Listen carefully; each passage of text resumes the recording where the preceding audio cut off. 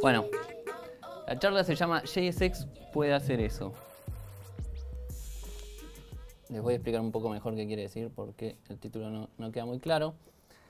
Lo que vamos a ver en esta charla...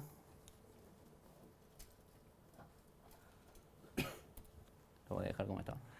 Eh, primero, vamos a tener dos partes de la charla. La primera va a ser, vamos a hablar un poco de qué es JSX, de mm, cómo Babel o algún transpilador agarra el código que está en JSX y lo transpila, lo transforma a JavaScript, que eso va a terminar corriéndose en el browser. Primero, por las dudas, ¿cuántos de acá no usaron nunca JSX? Levanten la mano. Bien, un 25% diría yo.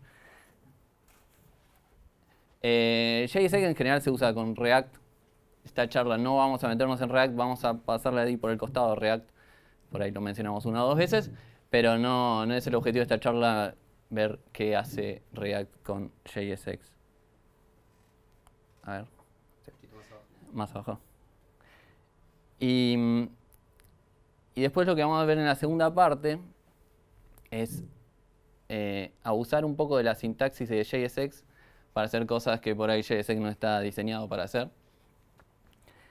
En particular vamos a tratar de, hacer el algoritmo de merge sort puramente en JSX. Para eso vamos a apoyarnos un poco en una librería que se llama Ramda, Ramda.js, que es una librería parecida a Lodash o Underscore, que tiene muchas utilidades, pero más con un estilo más de programación funcional. Así que vamos a ver también una pequeña intro a esa librería. Pero an- antes de, pensar, de empezar tengo que darles un disclaimer. De, esta charla está basada en un post que, escribí hace unos meses y, y, y posteé muchos, algunos comentarios de, de- este post en Twitter, Medium, Reddit. Algunos de este estilo, no sé si se llega a leer. De, bueno, a mí me gusta este último, dice... ¿Cómo, cómo borro el, post de Medium de otra persona? Pero bueno, lo, que les quería decir es, más que nada, de mucho- muchos, no sé si se lee, pero muchos insistieron con esto, de que se puede hacer algo no quiere decir que esté bien hacerlo, ¿no? Y, y estoy de acuerdo yo con, con Node Reactor y los 47 personas que le dieron like, tienen razón, así que el disclaimer, digamos, es que lo que vamos a ver en la segunda parte, por favor no lo usen para código que sirva para algo. o bueno, úsenlo, pero no, yo no tengo nada que ver. ¿eh? Eh, bien, sin más disclaimers, ¿qué es JSX? JSX, perdón, voy a tomar agua. ¿Así?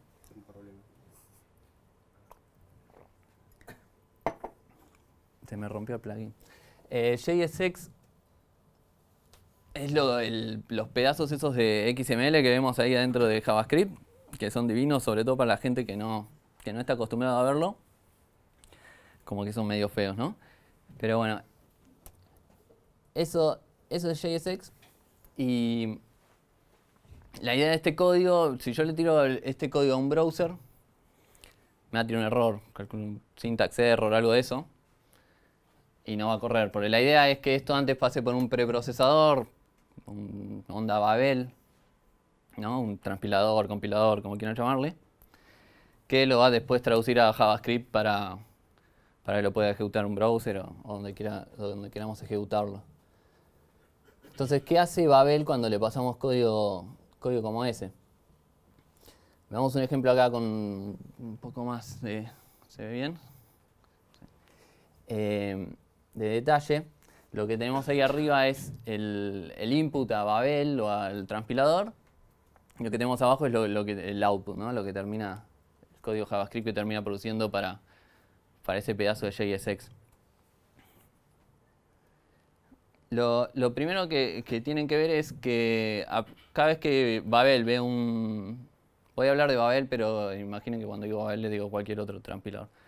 Cada vez que Babel ve un tag de JSX, va a inyectar en el output la función React, React Create Element.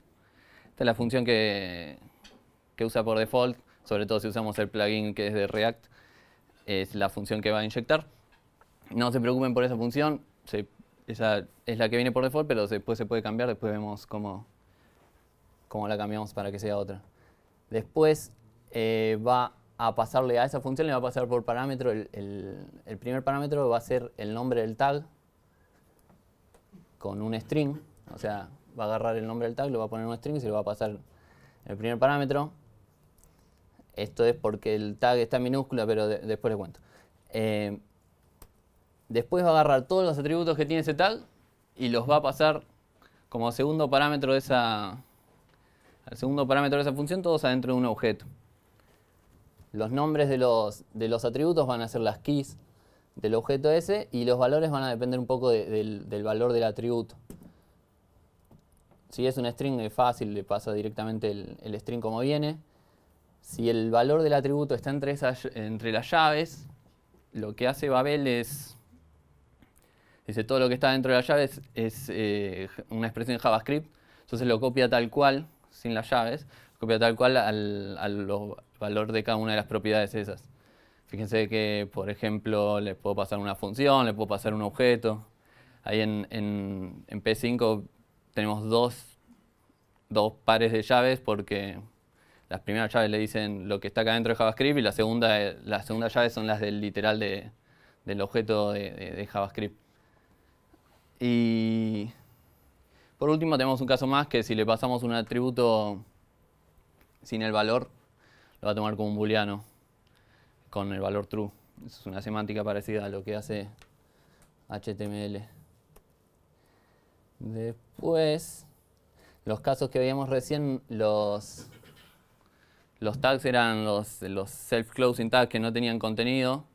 Si yo tengo algo de, contenido adentro del tag, si tengo básicamente lo que serían los hijos del, del, tag, lo que está adentro, eh, ese contenido va a ir a parar al tercer... No quiero tapar. ¿Tapo acá o se ve allá? Ok. Al, al tercer parámetro de la función, en realidad al tercero o a los que siguen, después vamos a ver un caso con, con más hijos. En este caso que estamos acá eh, en el primero, el contenido es texto, entonces va a, ir, va, va a pasar como un string si después también puedo tener, en lugar de texto, podría tener también una, expresión de JavaScript ahí adentro. Y lo mismo que con los valores de los atributos, va a pasar directamente, va a ver, la, va, tal cual está en el, en el JSX, la va a poner como el tercer parámetro del, de la función esa. Y después un poco más interesante es cuando tengo el, el contenido adentro del tag, es más JSX, otro tag de JSX, Em, que nada, se va, también se va a, transpilar ese código y se va a poner como, como tercer, tercer parámetro. Ahora, si yo tengo más hijos en el tag, o sea, en este caso, por ejemplo, tiene el tag gold tiene tres hijos, esos, esos hijos van a ir quedando como en los parámetros que siguen después del tercero, ¿no? El, primero, el primer hijo va a caer en el tercer parámetro, el segundo hijo va a caer en el cuarto parámetro y el tercer hijo en el quinto. Y así, si tengo n, van a seguir siendo para más parámetros. Em, ¿Qué más? Después los que le decía de que el primer parámetro, el nombre del tag pasa como primer parámetro en el de la llamada del método, de la función esa, es si el, si el nombre del tag es en minúscula, si empieza en minúscula. La convención es, si empieza en minúscula lo paso como string, y si empieza en mayúscula, eh, asumo que es un identificador de JavaScript y lo paso, lo paso como un identificador. Esa es una convención de, JSX. Y por último, lo que tenemos es eh, un comentario, eh, o sea, ¿cómo le decimos a, Babel que en lugar de React Create Element use otra función? Simplemente agregamos un comentario al, a cualquier parte del archivo que está transpilando y le decimos con ese arroba JSX y, y, un nombre después de eso, con eso ya le estamos diciendo que, que en lugar de React Create Element use, use esa función.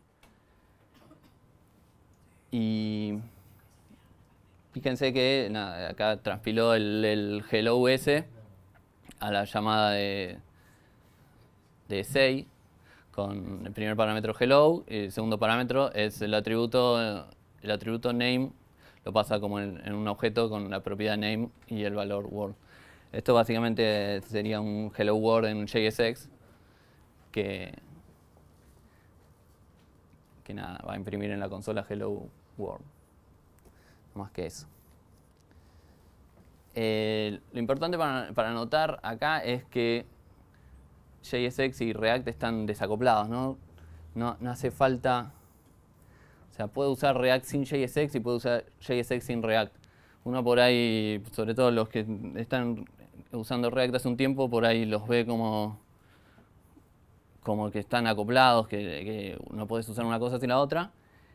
La realidad es que no, y que hay ejemplos de las dos cosas, ¿no? React sin JSX, eh, hay gente que usa create element de una sin, sin meter ningún sin meter JSX o, con alguna librería que le dé un poco más de algunas funciones de, en lugar de poner el tag de div usas una función que se llama div y le pasas directamente las props a esa función y JSX sin React JSX se usa en otras librerías, se usa en Preact sobre todo. Eh, de hecho, si van a, la, documentación de, Preact, una, de las Preact es una librería parecida a React, que tiene una API muy parecida. Eh, la una de las formas de configurar eh, Preact es usando el comentario ese que veíamos de arroba JSX y le decís el nombre de la función que usa Preact. Vue también usa JSX o dicen que se puede usar JSX con Vue. Por lo menos eso es lo que te dicen cuando bardeas a los templates. dicen que puedes usar JSX. Pero bueno, lo que vamos a usar nosotros, que tomo un poco de agua.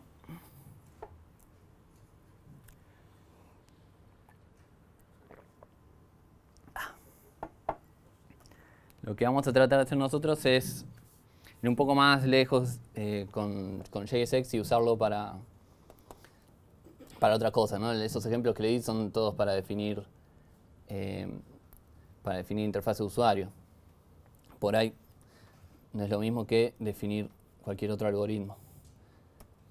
Ahora, veamos, veamos eh, un ejemplo de este ejemplo. En este ejemplo calculamos la, hipotenusa, la hipotenusa usando JSX.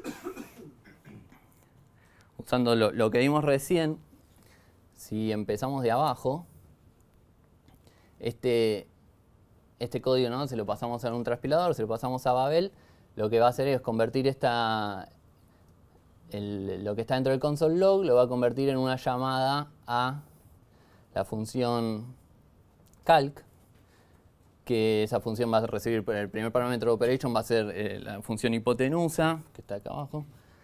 Eh, las, la props va a ser el objeto, un objeto que va a tener las propiedades A y B. Y args va a estar vacío porque no, no tengo ningún children ahí. Y lo que va a pasar cuando llame a esa función, entre esa función, Babel me va a tener que transpilar los tags estos de POW, que lo que va a transpilar es también con otra llamada calc, donde, donde el operation esta vez va a ser POW, el props va a tener eh, solamente la propiedad exponente, que va a ser 2, y ahora sí en args voy a tener, eh, voy a tener un, valor más. En el primer caso sería A, que sería 3, y en el segundo caso sería B, que sería 4. Y lo que voy a hacer es llamar a esa, a esa operation, la operation es POW. Si llamo a POW, básicamente lo que estoy haciendo es elevar el número que es base al exponente que es cuadrado. Y Eso me va a devolver para el primer caso que tengo 3, me va a devolver 9, creo. Y para el segundo caso, 16. ¿Bien? Eh, después, e, esos dos valores van a ser los que van a ser los children de los hijos del, atributo del tag que está más arriba que es zoom y que zoom de vuelta va, eh, Babel lo va a transpilar como una llamada calc que en este caso la operation no fui para otro lado que la operation va a ser eh, me pasé. La operation va a ser zoom que lo que va a hacer con los dos hijos que está, está en la parte de ahí de ahí arriba lo suma y que es 9 más 16, 25. Y eso, por último, va a caer en, la, en el tag este de scurt, ¿no? que es la, la, raíz cuadrada. Parece que nombrar bien a la Es la que vino en JavaScript así. Em, que es la raíz cuadrada de 25, mm, que es 5, y eso es lo que termina devolviendo la hipotenusa, ¿no? Ahora bien,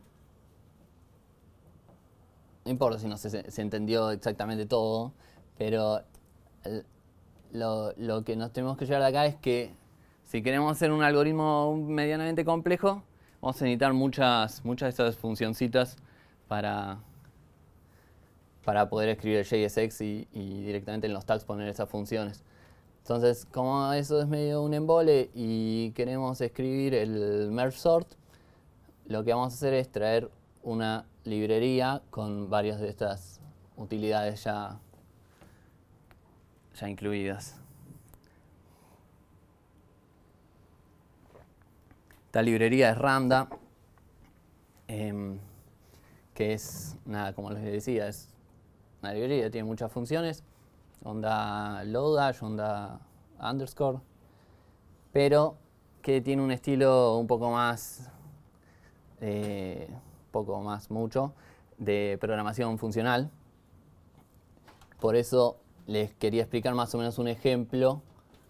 Ah, esto va a ser todo Ramda, o sea, es JavaScript esto, ¿no? No, olvídense por JSX por, por dos slides. Eh, veamos cómo, cómo, cómo hacemos una función que me diga si un número es divisible por otro. ¿No? Si un número es divisible por otro, es, hago el módulo del número por el, divisor y si, ese, si el módulo me da 0, es divisible y si no, no. Con, con Ramda tenemos función módulo, función equals y muchas funciones más. Entonces, el divisible by sería tan simple como eso. Pero, pero si, si llegan a ver algo que no les cierra, voy medio rápido, pero si llegan a ver algo que no les cierra, me, me, dicen. Eh, pero en Ramda, por ahí no, algo que se usa un poco más es en lugar de, de, pasarle el resultado de una función a la otra función, meter las, esas dos funciones en un, lo que se llama un pipe y llamar directamente a ese, a, ese pipe. En este caso agarraríamos la, la función módulo y la función equals, las convertimos las dos en una sola función con pipe. Ahí básicamente lo que está haciendo es, yo le paso, lo que va a hacer pipe es, yo le paso el número y el divisor y le va a pasar esos dos parámetros a módulo y lo que me devuelve módulo se lo va a pasar al equals. Y si es equals a 0, es divisible y si no, no. Eh, vale aclarar ahí que el equals, fíjense que le estoy pasando un solo, un solo parámetro.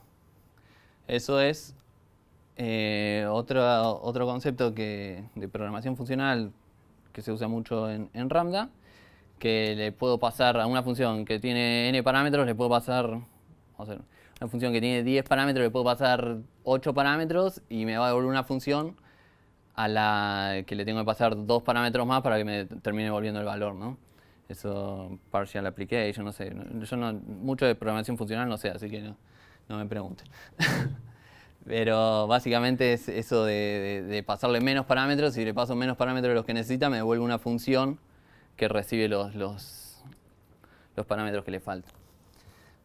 Ahora, una cosita más que, le deberíamos cambiar a esta, a esta función es que fíjense que en, la función de arriba que yo recibo el divisor y el número en ese orden y después al pipe le tengo que pasar el número y el divisor.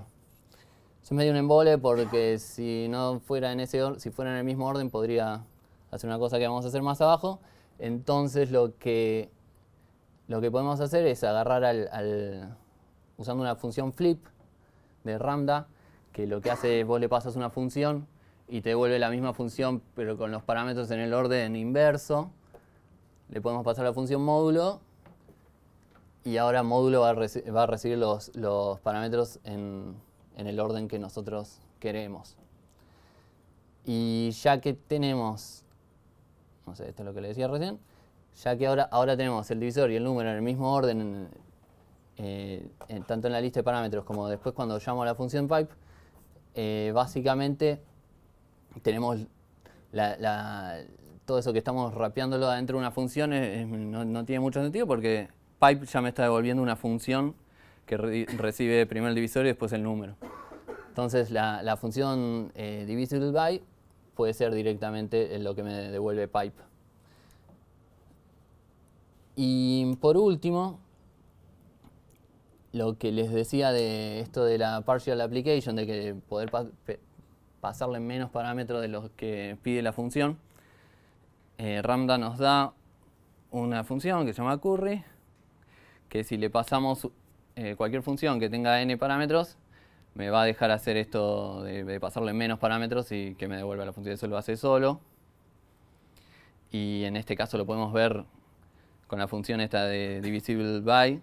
Si le paso el parámetro 2, le va a dejar fijo ahí cuál es el divisor y después eso me va a devolver otra función que la puedo usar en cualquier lugar para, para chequear si un número es par o no es par. ¿No? Eso sería una, una vista rápida del estilo, por lo menos, que, que se usa en Ramda.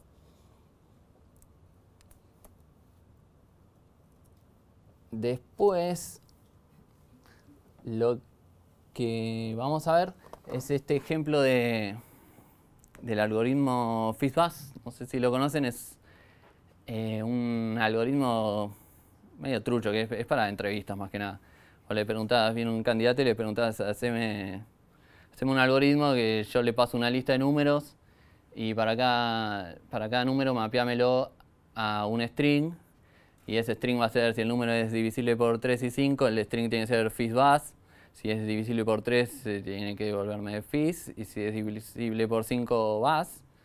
Y si no, si no es ninguna de las otras tres cosas, devuélveme el número. No sirve para nada el algoritmo, salvo para, para descartar gente que no lo sabe hacer. Em, entonces, esto en, en Ramda, la parte de divisible by es la misma que vimos recién.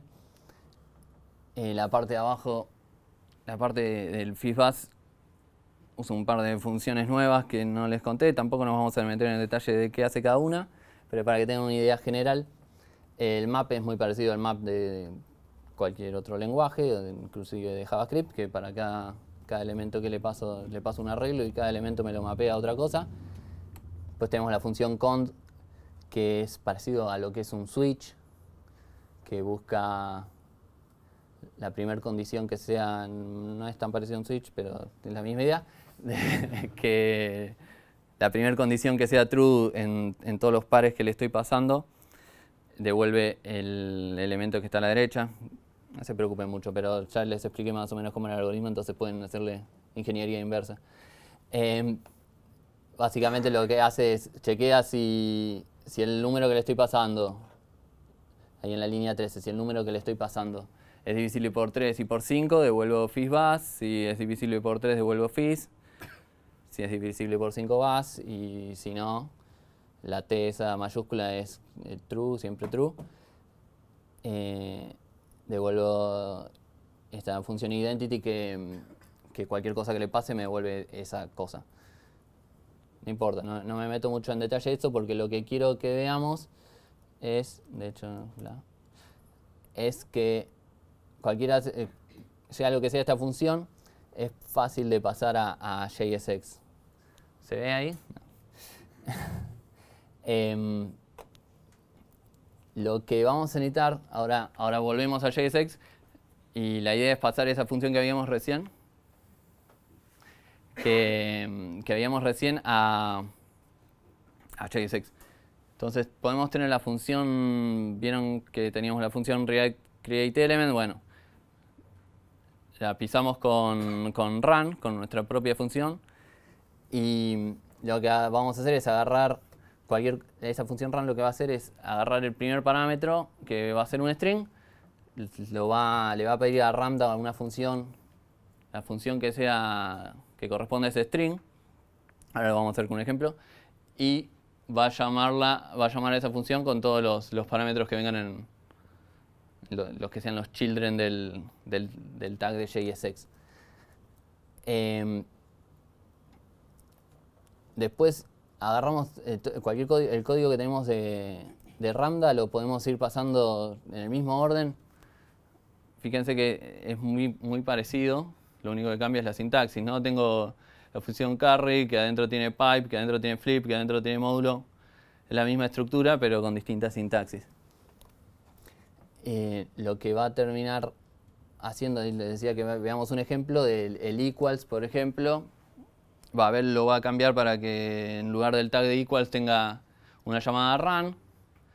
Run va, a recibir por parámetro un string que se llama equals.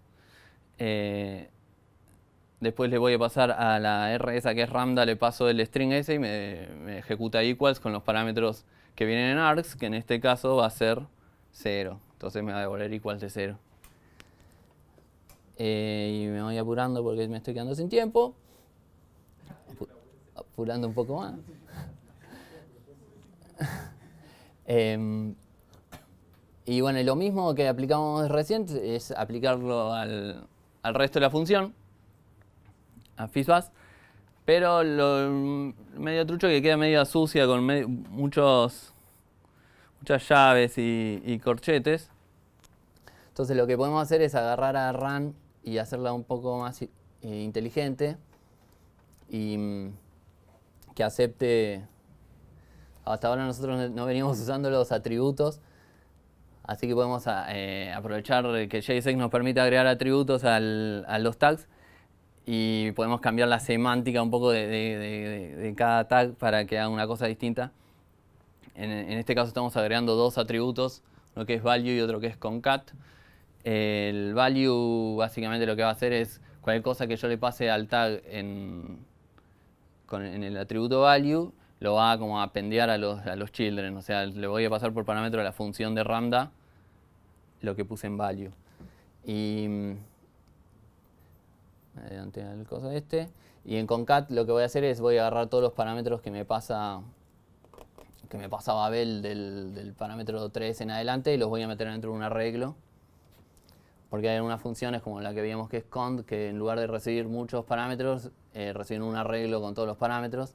Ahora lo vamos a ver en el, código. Y,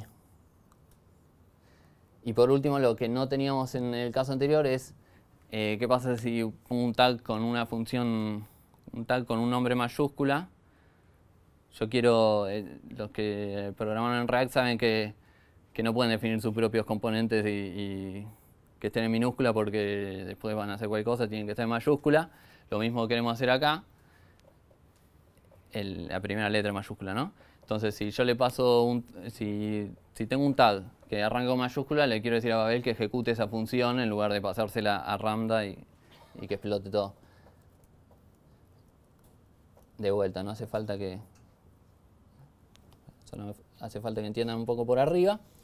Eh, después, o sea, con esos tres cambios, esa feedback que teníamos ya queda mucho más eh, pura en JSX, sea lo que sea que eso signifique. Eh, Y, nada, bueno, este, lo que le decía del concat, que con recibe un arreglo, entonces si yo le digo eh, concat, me va a agarrar los cuatro hijos que tiene y lo va a meter adentro de un arreglo y se lo va a pasar a cont. Después value me, hace ahorrarme de, abrir y cerrar el tag, ¿no? Está buenísimo. Y de lo de usar las funciones en, que arranquen en mayúscula, puedo usar la función que había definido antes yo, que se llama divisible by. La puedo usar también como nombre del tag y con eso puedo empezar a componer distintas partes del JSX.